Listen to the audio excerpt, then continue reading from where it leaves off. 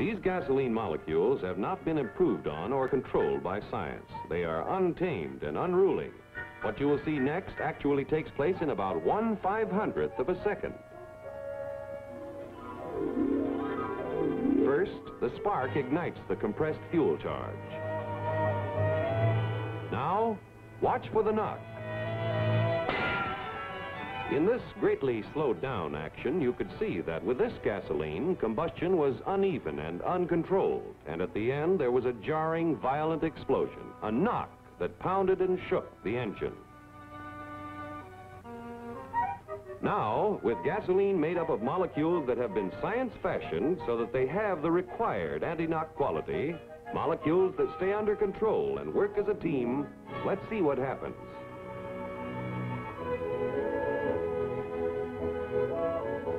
Note in this case that the combustion is more uniform and there is no knock. The big difference, as you could see, is that with gasoline of the required anti-knock quality, there is no knock. Combustion is smooth and even and completely under control. In the modern high compression engine, modern gasoline gives the greater performance required today. The car accelerates more rapidly, climbs hills faster, travels more miles per gallon. In addition to fashioning the molecules to prevent fuel knock, refineries usually add minute quantities of tetraethyl lead to help accomplish the same purpose.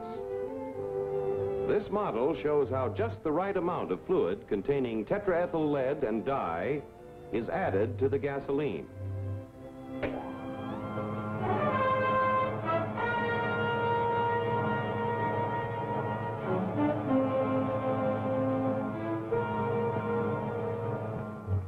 In the knock testing laboratories, test engines are used to make sure that the proper anti-knock quality has been built into modern gasoline.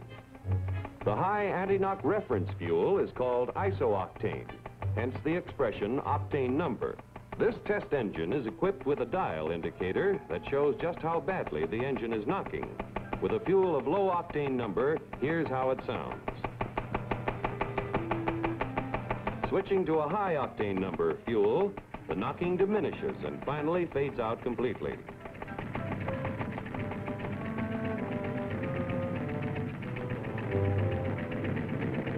This illustrates the smooth, even performance you get from a fuel of proper anti-knock quality. All of these facilities and know-how are not enough. There must be safeguards, the constant protection of every necessary control test. For example, the vapor pressure test that controls vapor lock tendencies.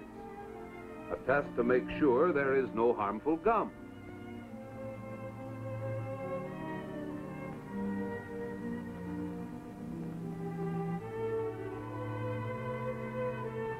Another to make sure that today's fine gasolines will not deteriorate in storage.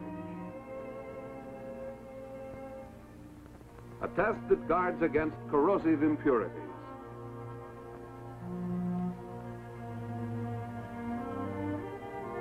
Testing, testing. Behind the top performance of today's fuels are more than 1,500 daily control tests. But what about tomorrow's fuels, the fuels of the future? Let's visit another of the great laboratories.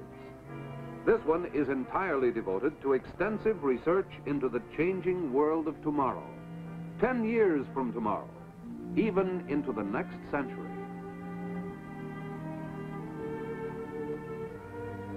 Here are some of the country's most capable scientists, and hundreds of men like these are also working on more and better products.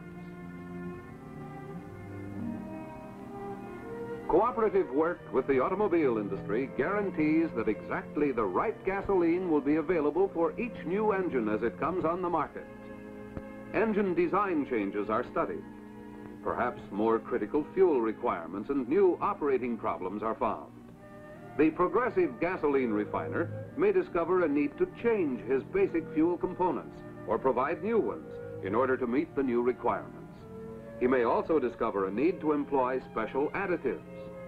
Such additives, expertly blended in, are capable of doing some things that gasoline alone cannot do. They already are contributing importantly to the building of today's fine fuels. Similar new developments may contribute much more in the future. It takes all this and more to build today's great motor fuels, while steadily developing the power and the performance for tomorrow's engines. One of the latest achievements in gasoline science fashioning is catalytic reforming. It uses a platinum-containing catalyst. Step by step, unit by unit, the art of science fashioning is advanced, continuing progress that has become a tradition in the industry.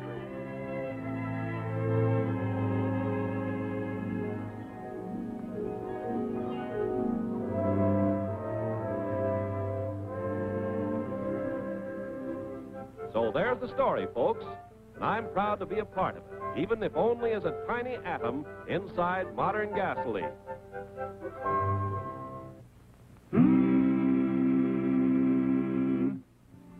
Now you know something of the great story behind the gasoline you use, whether it's delivered to you on a farm or on the driveway of a service station.